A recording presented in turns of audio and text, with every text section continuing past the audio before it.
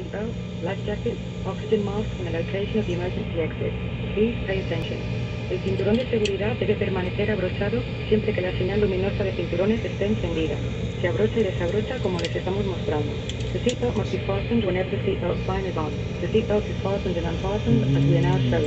En caso de tener que realizar una evacuación de emergencia, se iluminarían los senderos fluorescentes del suelo